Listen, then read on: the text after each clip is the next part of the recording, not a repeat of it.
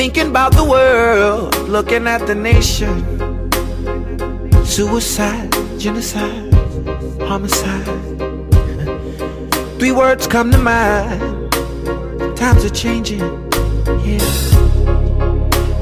No more rumors, there are wars going on. Twisted doctor, scientists making clones.